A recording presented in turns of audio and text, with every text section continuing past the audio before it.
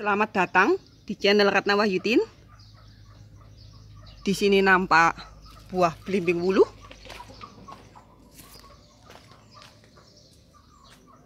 Banyak sekali buahnya.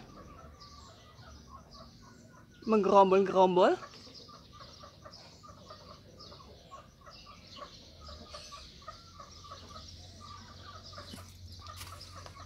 Belimbing wulu ini akan kita manfaatkan dengan baik Salah satunya dengan cara ini adalah belimbing wuluh yang sudah kita panen, kita petik dari pohonnya tadi. Kita rebus dengan gula merah, gula batok. Hasilnya seperti ini.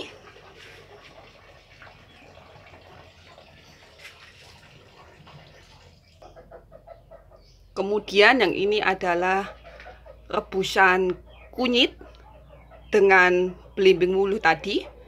Kita kasih gula merah gula batok. Hasilnya seperti ini. Jamu kunyit belimbing bulu inovasi terbaru. Ini dia kedua hasilnya. Pemanfaatan buah belimbing bulu terima kasih sudah menyaksikan. Semoga bermanfaat